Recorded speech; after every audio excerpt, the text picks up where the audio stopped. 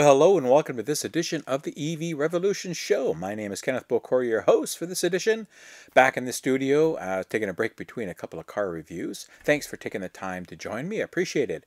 Today's story, I'm going to talk about Volkswagen. They recently came out and presented their strategy till 2020. Seems like all the OEMs now, I talked about GM and Stellantis and Ford and a bunch of others, well, they're all coming out with their updated plans now for this decade, which is good. So let me get right into it. Now, Volkswagen's strategy uh, is called their new auto. And as I said at the opening, it takes it out for the rest of this decade. Now, Volkswagen, of course, as you folks know, if you follow me, I've talked about them many times. They've had many announcements about their electrification strategy over the last few years since I've been following the market. And this one was no exception. I think what they've done is they followed up with a lot of the other OEMs are doing. They're presenting a plan that has some financial fiscal, uh, fiscal feasibility into it, as well as their strategy for where they're going to deploy their electrification efforts throughout the globe for this decade. And again, that presentation was called New Auto. Now, at the core of this strategy is the shift to electromobility and the gradual phasing out of the combustion engine. But it goes far beyond electrifying the hardware that has been dominant for so long. It has already been very clear for a while now that Volkswagen's future is electric, as I've said. With the development of the MEB platform over the last couple of years and the recent Power Day that they did in March, it was clear where VW was going. They will soon be one of the largest battery users worldwide, having defined their own cell format they call the unit cell. The CEO, Mr. Diess, and his top management gave insights into how this change of the group is to take place. So they used the term reinvention, and that came up with quite some frequency. The Volkswagen strategy is called New Auto because, as Diess insists, the automobile will remain and individual transport will remain the most important means of transport until 2030. Well, I feel it goes beyond 2030, but we'll take it from there. So how is Volkswagen's reinvention going to happen? Well, according to them, it needs software, batteries, of course, and digital services. And that's a theme that we're hearing from many OEMs now is on more adding more digital services. Well, there's money in it, so why not? Now, when we talk about battery cells, the production that they announced at Power Day should help increase the group's value creation in electric mobility. Now, VW is going to have six European battery gigafactories, which will produce unit battery cells for their own use. And the second point for industry's change, according to them, is software and brand differentiation. And that's going to come much more from the software and services that VW offers.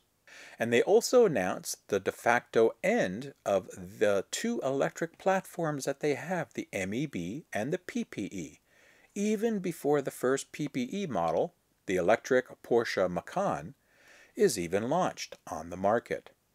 Now, VW is developing a single group platform to replace this, and they call that the Scalable Systems Platform, or SSP for short. Now, the first vehicle is to be based on the SSP starting in 2026. And from then on, all important future models are to be based on this platform, from 85 to 580 kilowatts of power output for all models and brands.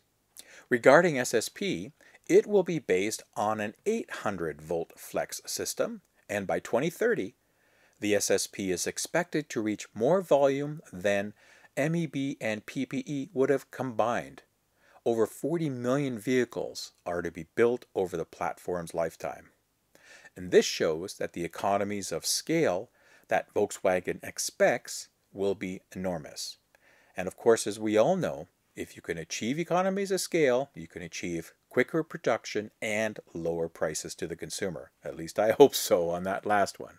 Now, these economies of scales are to be made possible by a modular concept. And everybody, you've heard me when I've talked about the other OEMs, they're all doing the same thing, going into very modular concepts to order in order to lower the price point and make it easier to build. So that's why the SSP consists of standardized modules that can be combined within certain specifications. Now the combination of these modules and predefined platform sizes should reduce complexity by 50%. And remember folks, if you hear terms like reduce complexity, it should equal reduce price to the consumer. But let's wait and see. Now, Volkswagen has done an 800 million euro investment in a new development center, and that's going to help bring the SSP to reality. VW expects the market for combustion engines to shrink by 20 to 30% in the near future, as electric cars will already catch up with combustion engines in terms of profit margins in two to three years. So that's interesting that they're talking about um, uh, profit margins in such a short time with the investments that they've made already. And I think that that's probably fair. I don't see this market as some people are predicting, you know, converting to maybe 50 or 60 or 70% all electrics by the end of this decade. I'm not sure if we're going to hit that mark.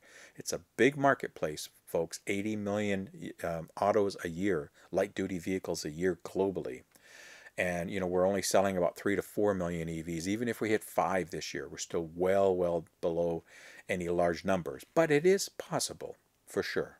Now, VW also has increased the original range for their operating return on sales from 7 to 8% to now 8 to 9%. And they expect that by 2030, as I mentioned, sales of electric cars for them will exceed those of combustion cars I'm quite confident in that since VW is lowering the amount of combustion vehicles they will start building this uh, by the end of the decade and increasing the number of EVs. So it makes perfect sense. Now, VW also announced more investments in software, mobility services, and in the commercial sector. Additionally, they expect to provide level 4 automation this decade. In order to satisfy the EV growth, the company must also tackle another challenge, and as we all know, charging the electric cars is critical. So to this end, Volkswagen intends to further expand the public charging infrastructure in Asia, Europe, and America. And when they say America, they mean North America. Electrify America slash Canada is to almost double its current charging infrastructure in the USA and Canada to a total of 1,800 fast charging stations and 10,000 installed charging points by mid decade alone. The planned expansion will lead to the expanded use of 150 and 350 kilowatt charging points. In Europe, Volkswagen has also agreed to a new joint venture with a company called Enel X to build a nationwide HPC network in Italy with more than 3,000 charging points of up to 350 kilowatts each. So, so when you look at some of those numbers, in total, the Volkswagen Group plans to build 18,000 HPC charging points in Europe, 17,000 in China, and 10,000, as I mentioned, in the USA and Canada. Diess closed off the meeting by saying that the automobile and individual mobility has a bright future. With VW's innovative brands and state of the art technology platforms, they are preparing to play a leading role in the new mobility world. So I think what I've heard here from VW in these summaries is that certainly this is the case. And as you folks know, I love it, love it when OEMs like VW and the others that I've been reporting on and following on have uh, future plans that are very heavy with electrification and that also coordinate with the reality of running a business. Okay, and that's it for this edition of the EV Revolution Show. Just my shorter show focusing on Volkswagen's EV plans for this decade. Thanks a lot for tuning in, watching on YouTube. Hope you enjoyed it. If you're not a subscriber, please consider subscribing. Thank you for those who do. And I always love to read comments and enjoy feedback, so please don't hesitate to put that in YouTube in the comments.